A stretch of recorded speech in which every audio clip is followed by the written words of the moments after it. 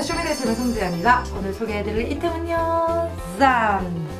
존 페트루치 signature Dunlop 피크. 예, 얘는 2mm로 되어 있어요. 두께감 보이시나요? 네. Flow 2mm로 되어 있는 시그네처 피크인데요. 존 페트루치와 협력 작업을 통해서 완성했다고 합니다.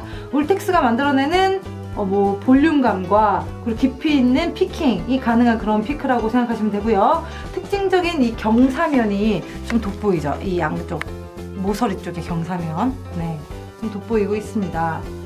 얘는 2,000원인데요. 1,600원에 네, 가격이 책정이 되어 있네요. 사인 시그네처 와우. 그리고 뒤에도 뭔가 프리즘으로 모양이 새겨져 있는데 굉장히 예뻐요. 옆에 Dunlop USA. 네, 우선 2mm라서요. 그립감이 되게 좋고요. 힘을 별로 안 들여도 뭔가 힘이 들어가는 그런 느낌.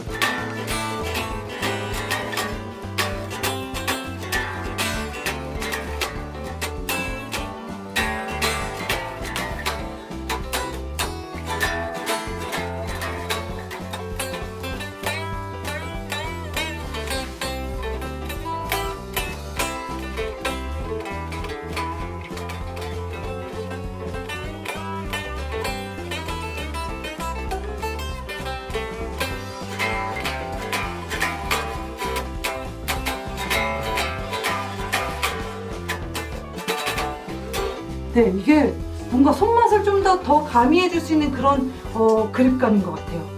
굵은 피크 여러분들도 사용해 보시면 아실 겁니다. 존 페트루치 signature Dunlop 피크 여러분들 갖고 싶으세요? 그러면 가지세요.